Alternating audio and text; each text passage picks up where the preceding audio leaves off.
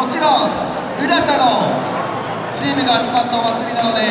ルラチャの総踊り3曲いきましょう。1曲目はもう皆さんご存知ルラチャ県局からやっていきましょう。行きましょうはいぜひ会場の皆さんカメラマンさんもしっかりとこの素敵な時